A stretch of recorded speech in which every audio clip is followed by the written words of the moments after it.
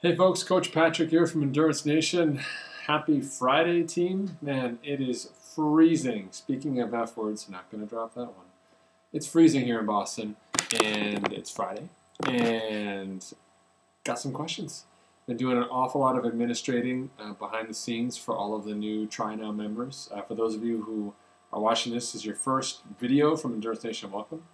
I do this weekly. Uh, you can submit all of your questions to weekly Q&A at endurancenation.us. That's weekly, the letter Q, the word N, the letter A, Endurance Nation US, and I, Coach Patrick, will answer them for you. So uh, two questions this week, two good ones. Um, one I think is a little bit old, so I apologize for sure, but let me go through it. So um, the initial question is, um, I get uh, a lot of, I've seen a lot on the forums how uh, when people ask about continuing the OS if they need to repeat or what they should do with the OS, you guys keep recommending weeks 9 through 12.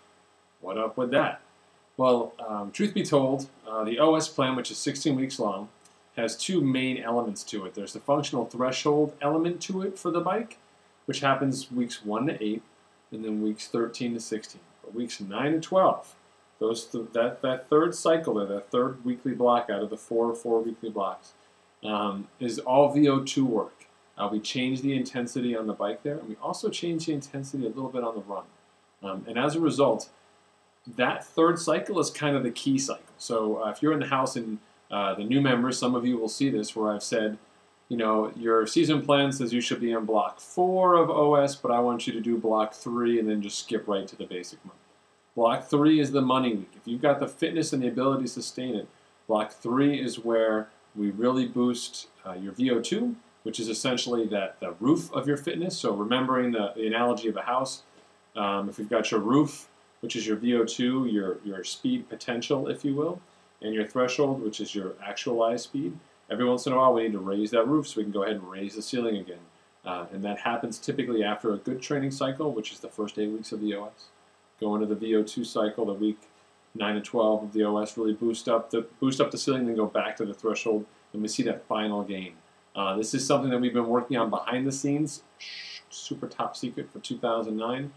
Coming out soon, some emails bouncing back and forth between some wicked smart people, um, where it looks like we're going to do a little bit more to work on the VO2 stuff. But for now, the safe answer is 9 to 12, those weeks of the OS plan, that is where you get the biggest bang for your buck. And I'm all about the big bang. No wasting your time. We want you to get out there, get fast, faster so we can have more fun kicking people's butts come April when the weather turns nice. If the weather ever turns nice. And speaking of biking and being outside in nice weather, let's turn to question number two.